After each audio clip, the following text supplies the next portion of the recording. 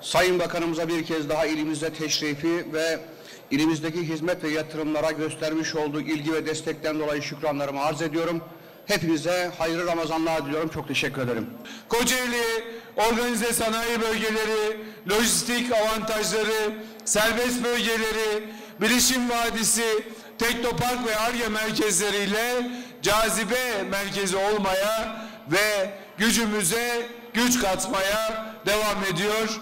Bizler de aslında böylesi güzide böylesi kıymetli bir şehre Kocaeli'mize hizmet etmekten dolayı büyük bir şeref duyuyoruz.